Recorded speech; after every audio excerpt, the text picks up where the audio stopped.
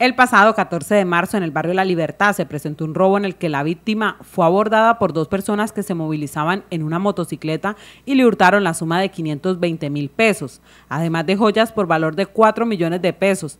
La víctima fue intimidada con arma de fuego. El acto quedó registrado en cámaras de seguridad y fue publicado en redes sociales.